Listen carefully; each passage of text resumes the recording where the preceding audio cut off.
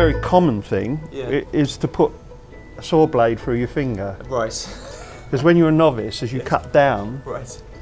it breaks and sticks. I haven't done it for a few years. Did that years. take your finger off that thing? Just, uh, no, it, it just to bone sticks, maybe, just right. sticks into you. Okay, And then you have to pull out the barbs, like you do with a fishing hook. Oh, goodness, right. So, but luckily I haven't Hopefully done we'll, it. we'll avoid a trip to A&E. Yeah. This diamond engagement ring retails for about £23,000. Stephen Barnard, the head jeweller at 77 Diamonds in London's Mayfair, is about to show me how to make one just like it.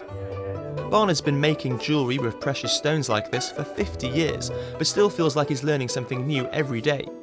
So it's with some trepidation that I ask him how he feels about letting a rank amateur like me loose in his workshop. I'm happy to let you do a few things. We've got plenty of plasters and I'm sure you'll cut your fingers, but yeah, I'm willing to let you have a go. My confidence that we can get through the afternoon without a trip to hospital just about intact, we begin. The first step is the scary bit with the saw, cutting the shank of the ring to size. Barnard and his apprentice of 10 years, Sam Devoyle, sit alongside three other craftsmen in this cramped workshop, their fingers black with dirt and calloused after years spent working with these rugged tools. Most of the techniques used here have been around for well over a century, but they've embraced some new technology too, namely this laser machine, which was bought to help cope with the rising demand for platinum. With a laser machine, it's clean and it melts platinum at a high temperature without burning your hands, and it's very efficient. While I'm relieved the laser machine will prevent me from burning my hands, I don't feel like I make the best start when I squint into its viewfinder and my eyes struggle to focus. I'm told it can take a few days for your eyes to adjust, so we move on to the oxygen gun. I'm warned again to proceed with caution.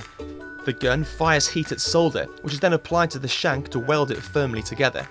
The ring turns white hot in the process, at which point protective eye gear is recommended to stop the glowing melt damaging the eyes.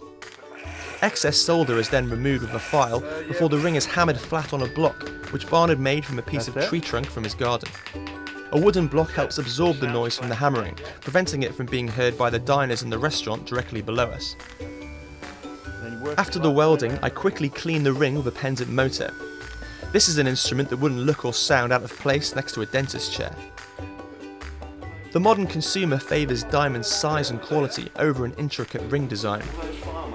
But in the past, Barnard would have been commissioned to spend several days crafting a single elaborate piece.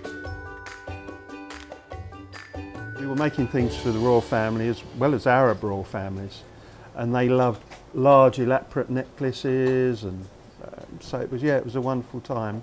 I worked on Elizabeth Taylor's pear shape, the Burton diamond, but only when she was selling it. I'll never forget seeing it in my hand. It was 37 carats, I think, sitting in your palm like this. Um, but I loved making things for, the Arabs, and Lady Di had a couple of necklets made. The more modest piece of jewellery we're working on today is later filed and buffed by hand. This takes considerable effort, and I struggle to get it uniformly flat. Until that is, it's pointed out to me that I haven't been holding the ring level. Finally, the diamonds are mounted, a process I'm more than happy to leave to the professionals. A drill's used to manipulate the claws so the stone can fit. Then a tool called a pusher sets the main diamond and the smaller surrounding stones that sit on the shank. A final polishing and our ring's ready to go. Over the five decades that Barnard's been in the business, there's been a decline in jewellery making in the UK. trade is shrinking, and if you look at our workshop as a quality workshop, I'd say I only know two or three others within London where there used to be numerous amounts of people import some cheap jewellery. It does make me sad, and but I think say we don't make many products in the UK anymore. The jewellery trade is just uh, the same as all other trades, I think. I think uh, to work at the bench as I do, you have to get a joy out of making something. It may take you eight, ten hours. Not everybody can do that. There's lots of people who can make things with their hands, but to rigidly sit there every day and produce things and get pleasure out of it, that's difficult. The level of craftsmanship in this workshop is striking, and it's been quite something to witness skills that have been honed over decades. Getting up close and personal with diamonds has been exhilarating, but I don't think I'm quite ready to give up my day job just yet.